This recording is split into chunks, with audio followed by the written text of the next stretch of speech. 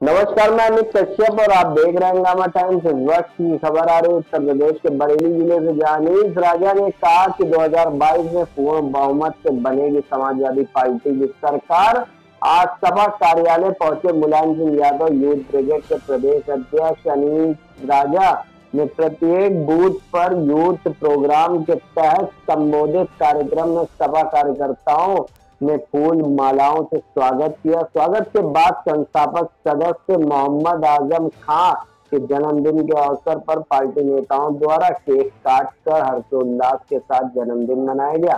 आइए डालते हैं उत्तर प्रदेश बरेली की खबर पर नज़र। संवाददाता मनीष कुमार गुप्ता की रिपोर्ट पर। हमें भी किसी हिस्से का हकदार कर दिया जाए।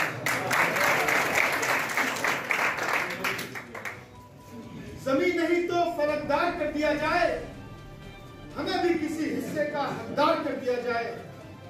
बची है एक ही सूरत इस शजर को बचाने की कि हर एक शाख को अब तलवार कर दिया मुस्लिम युवक को सरेआम कूटा गया व धार्मिक नारे लगवाने के लिए मजबूर किया गया।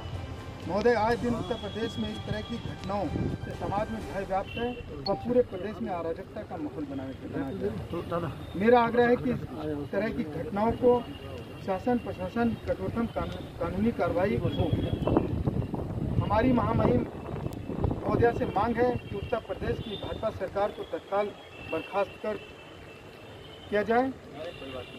अन्यथा समाजवादी पार्टी सदन से लेकर के सड़क तक इसका कड़ा विरोध करने के लिए बाध्य माननीय महामहिम राज्यपाल महोदया, कानपुर के बर्रा में मुस्लिम युवक की पिटाई व व जबरन धार्मिक नारे लगवाने के संबंध में ज्ञापन। महोदय, समाजवादी पार्टी इस ज्ञापन के माध्यम से आपका ध्यान कानपुर के बर्रा में घटित घटना जिसमें आपसी विवाद के मामले को जबरिया